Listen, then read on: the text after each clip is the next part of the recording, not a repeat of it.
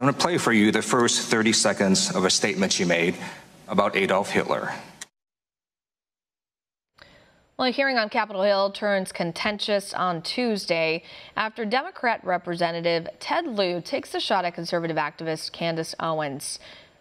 Well, during a hearing on hate crimes, Lieu played a clip from February in which Owens differentiates the concept of nationalism from white nationalism. Critics while uh, doing so, Owens may have inadvertently legitimized the actions of the German leader, something she has repeatedly apologized for. Well, nonetheless, the California lawmaker played the clip in an effort to embarrass Owens, but he wasn't prepared for Owens to push back. And what I responded to was that I do not believe that we should be characterizing Hitler as a nationalist. He was a homicidal, psychopathic maniac that killed his own people. A nationalist would not kill their own people. That is exactly what I was referring to in the clip, and he purposely wanted to give you a cut up similar to what they do to Donald Trump to create a different narrative. That was unbelievably dishonest, and he did not allow me to respond to it, which is worrisome and should tell you a lot about where people are today in terms of trying to drum up narratives.